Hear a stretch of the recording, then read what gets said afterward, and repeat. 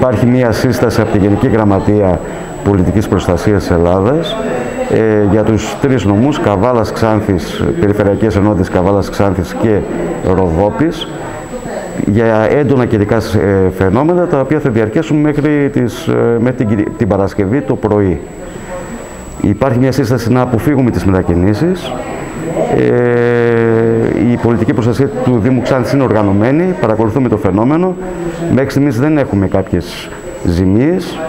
Ε, περιμένουμε να δούμε πώς θα εξελιχθεί το φαινόμενο. Είναι έτοιμος δηλαδή ο Δήμος για πανελευθεμένο.